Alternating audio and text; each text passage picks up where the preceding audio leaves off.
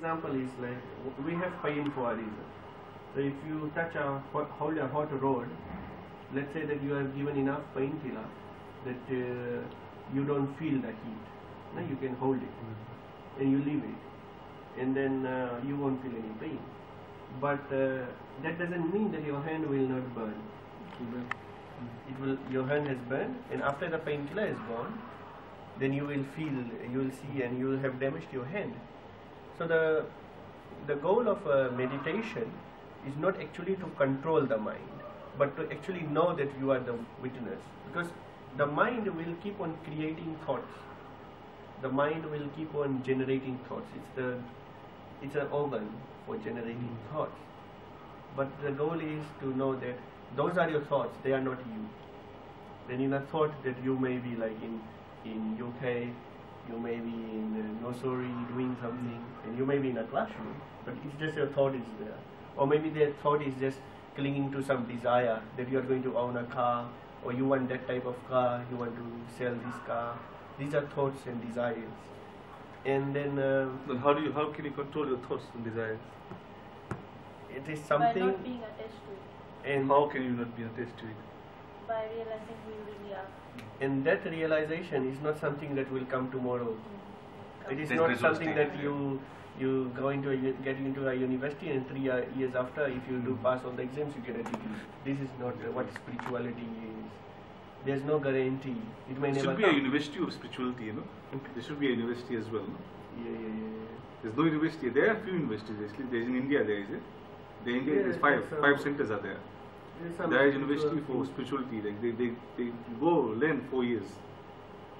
And they I think a few rishis they they say that eh? they were reading. They went and they went at a higher level, like ten years and everything. They disappeared. So where they disappear, we don't know where they disappear. Some say it's just a thing, but it can happen that way. You get to that God level. The God level means there's no, in fact, for my understanding, there's a God physical level, God is there, right? just to make us that there's a God. In reality, God is just the energy. If you can attain that energy, it's simple. But like how we have to go about other society going, you know, there's one person Chinese, he's got a God to follow. We Indians, we have a God to follow. People have got different things to follow, but reality is self-realization and the consciousness. I think it becomes spirituality becomes very, Very. easy if you start as an atheist. You don't have a god, or you start as an agnostic, right? So you hmm. don't have anybody to follow anymore. Now what? Now what will you do to actually understand the purpose and the meaning of life? To actually become self-aware? Then uh, this uh, Astavakra Gita has no mention. It's not mentioning about God anywhere. Neither it's mentioning that you should do some prayer. Exactly. That, that's the or beauty about the. Gita. But you are only to seek. So Yes. you, whether you are uh, atheist or whether you are not an atheist, Even as an atheist, the Astavakra Gita will be if appealing to you. It doesn't care about whether what your beliefs are. It doesn't will. So say this, seek this, this, in, in fact, the real world should put this more on the top level. Other enhances the spiritual level. But what really happened, it has changed. People have followed the belief system more deeper. I think And uh, the like, man-made you things has gone deeper. Like he gave that uh, uh, atheist example.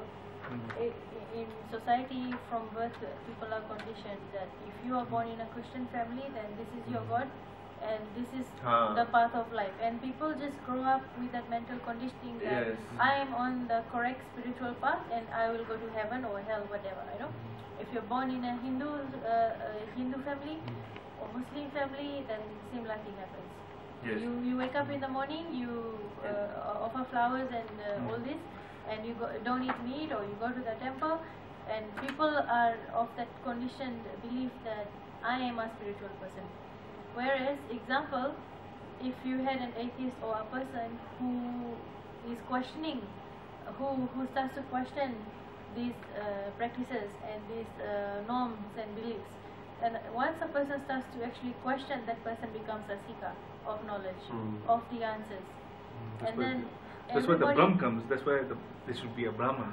and People then, can convert then you from it, then you inquire. So people will find or seek knowledge in their own different ways. Some may maybe do research. Mm. Some may consult a guru. Mm. Some may get that knowledge through their own experience and actions. But then they are still seeking. Yeah.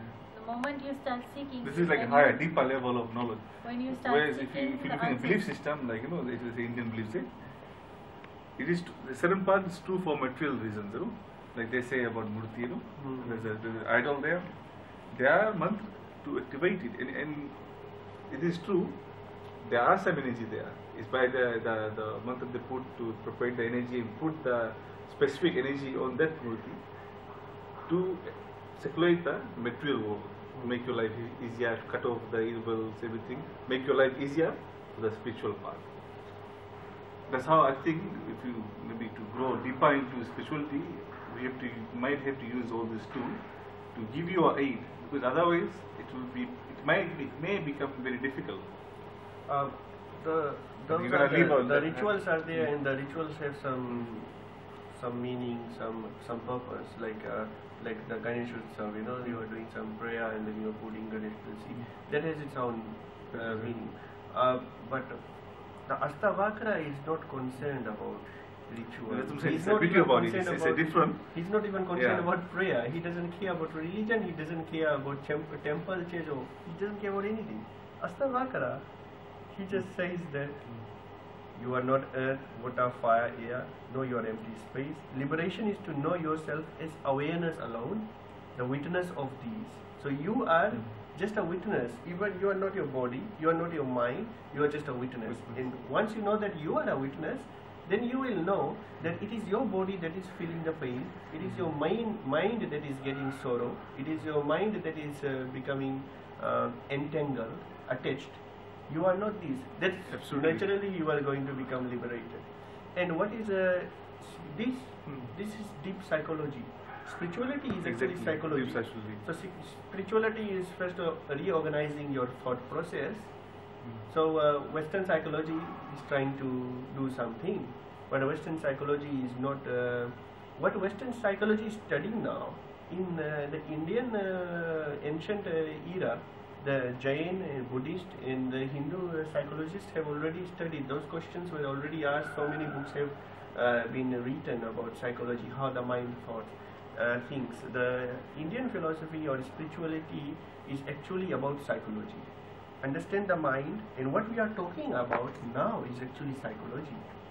But then a time comes when psychology ends, when there's no reason, there is no uh, justification for things, and that is when you come to that heightened state or that meditative state. So uh, you are going to, let's say, you are going to come to a, a state of meditation. You have to go through the psychology. Exactly. You have to go through your mind. You have to actually, uh, you know, like go above your thought process, meaning control the mind, knowing that you are not the thought. You come to that stable zone Mm. where there is uh, no thought. the void. The but void. Like, That's what you but remember that, in uh, order to uh, go through that path uh, of getting to that void and nothingness uh, and the wholeness with the consciousness, when you start seeking, you will be using logic and you will be using in the beginning. and in the beginning you will be using logic and you will be applying your judgment in terms of for example if someone says to you um, if i pray to an idol i am praying directly to god. If just by putting an idol in front of me.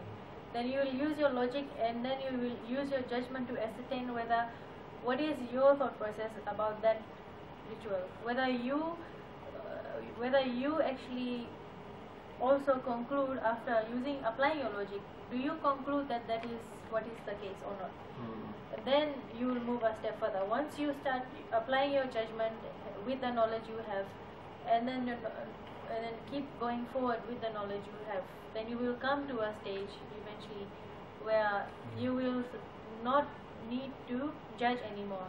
Hmm. You will not need to make any judgment of anything anymore because then you will come to that realization that there is nothing to judge really but you are just to be as a witness Exactly, and that's what our, our religions are teaching.